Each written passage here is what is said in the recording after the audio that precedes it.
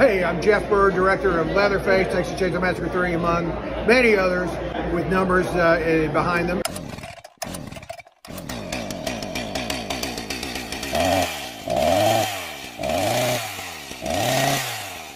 And I just wanted to say, watch, listen for the horror sanctum.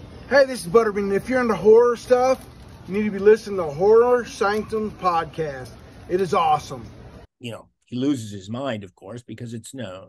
You got to lose your mind and cut body parts up and put them in the ice cream. Well, if it is so bad, it's good. Is it really bad? The reason that movie's so good is because he spent time on those characters. Like there is a reason they're doing what they're doing.